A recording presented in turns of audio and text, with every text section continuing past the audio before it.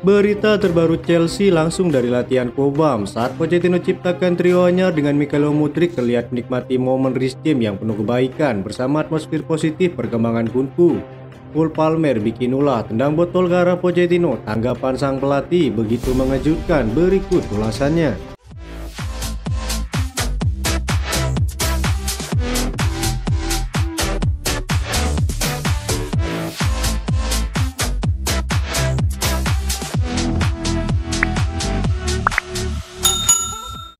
Mikhailo Mudrik telah membentuk kemitraan yang hebat dengan Ben Chilwell di luar lapangan dan kini tampaknya melakukan hal yang sama dengan kapten klub Rhys. Meskipun keduanya jarang bermain bersama, hanya sekitar 350 menit sejak Mudrik bergabung pada bulan Januari, hubungan mereka mulai terbentuk. Sebagai salah satu pemain yang paling kompleks, Mudrik tampaknya telah diperlakukan dengan cara yang berbeda dibandingkan dengan pemain yang lain, terutama musim ini di bawah asuhan Pochettino, di mana ia dijaga dan dilindungi sebelum akhirnya dibebaskan dalam beberapa minggu terakhir. Ben Chilwell yang sangat memuji pemain Ukraina ini dengan cepat menjadi salah satu bek andalan dan pendukung Mudrik. Mereka selalu terlihat bersama di lapangan latihan. Dan perayaan Chilwell atas gol Mudrik melawan Arsenal mengungkapkan banyak hal. Sebagai pemain ketiga tertua dalam skuad dan wakil kapten saat ini, Chilwell memiliki peran baru musim ini baik di lapangan maupun di luar lapangan. Meskipun sedang cedera saat ini, Chilwell sepertinya tidak membiarkan itu menghentikannya dari memainkan peran penting dalam perkembangan Mudrik. Sekarang karena Chilwell sedang absen, ada posisi kosong yang bebas bagi Mudrik di sisi kiri yang telah diambilnya. Tetapi bukan hanya karena keadaan yang membuatnya menjadi pilihan utama, Disiplin bertahan untuk mempertahankan posisinya secara konsisten, menunjukkan sisi baru dari pemain berusia 22 tahun yang belum pernah terlihat sebelumnya. Modric dan James belum pernah bermain bersama musim ini, sesuatu yang sangat frustasi bagi banyak orang karena keduanya merupakan pemain yang paling menarik di dalam tim. Jika melihat keduanya saat ini di Kobam, keduanya semakin dekat. Chris James ikut dalam skuad pertandingan untuk kedua kalinya musim ini setelah mengalami cedera panjang dan Mudrik kini dianggap sebagai opsi yang dapat diandalkan dan dipercayai dari sisi kiri.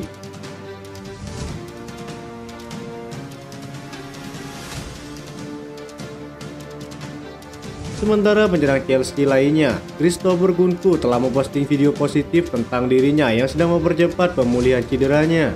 Pemain berusia 25 tahun ini masih belum bermain untuk Chelsea setelah pramusim.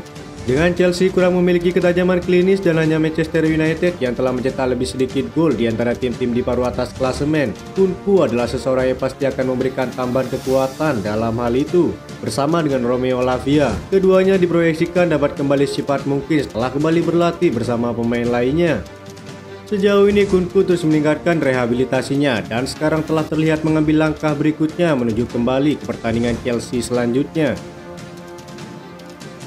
Kunku terlihat seimbangkan kakinya di atas platform rendah dengan kaki kirinya diangkat ke belakangnya.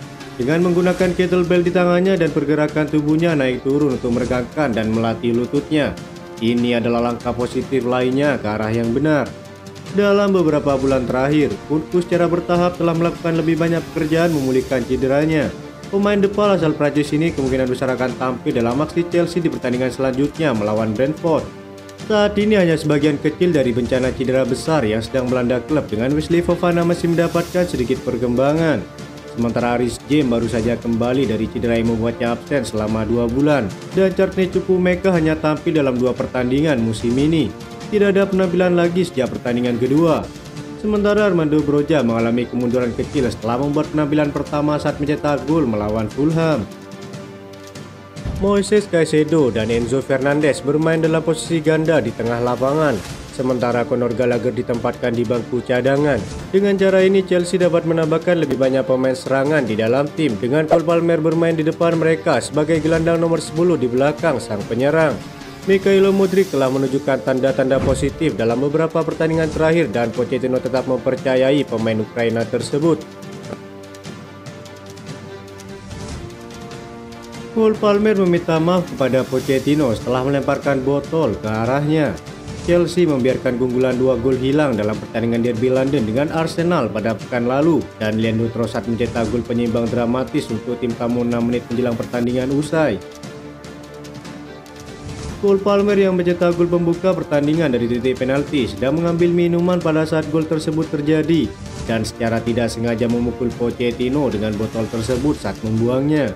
Pemain berusia 21 tahun itu langsung meminta maaf kepada manajernya, namun sempat bercanda tentang potensi kehilangan tempatnya di tim utama saat menceritakan kejadian tersebut ke situs resmi Chelsea. Ketika mereka mencetak gol kedua, saya sedang mengambil minuman, kata Palmer. Saya hendak membuang botol itu seperti yang Anda lakukan, namun tidak melihatnya. Saya hanya melihatnya berputar perlahan dan mengenai pelatih. Saya meminta maaf kepadanya dan meminta maaf dengan benar setelah pertandingan. Mudah-mudahan dia tidak memarkir saya karena itu. Dia menambahkan tentang hubungannya dengan Pochettino kalau dirinya memiliki hubungan baik. Palmer terus mencoba menunjukkan untuk Chelsea setiap hari dalam latihan apa yang bisa dia lakukan bekerja keras dan berusaha membalasnya karena sang pelatih telah menaruh kepercayaan besar pada dirinya. Palmer langsung jadi bintang Stamford Bridge yang kepindahannya dari Manchester City pada musim panas.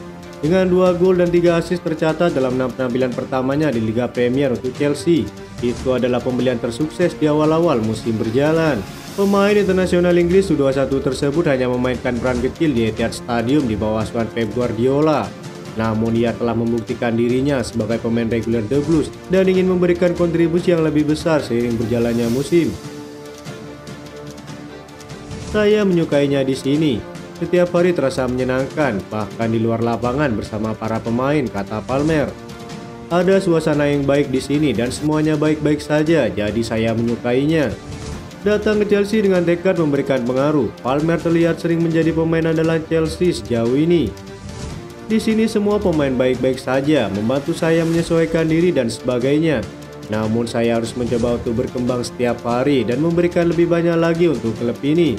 Semoga saya tak diparkir, tutup Palmer menambahkan.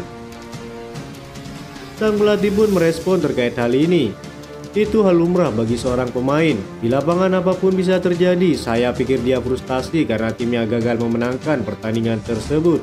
Dia akan menjadi andalan dalam tim karena memberi dampak besar untuk tim ini, tutup Pochettino. Gol Palmer juga cukup baik dengan penguasaan bola serta mampu menemukan peluang di ruang sempit.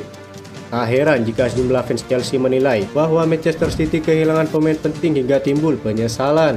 Bahkan salah satu pujian datang dari legenda Liverpool, Jamie Carragher. Dia menyadari betapa pentingnya peran Palmer di Chelsea Salah satu peran penting itu ditunjukkan saat Cole Palmer terlibat dalam proses terciptanya gol yang dicetak oleh Armando Broja. Itu saja informasi yang dapat kami sampaikan. Terima kasih yang telah menonton video ini. Salam olahraga.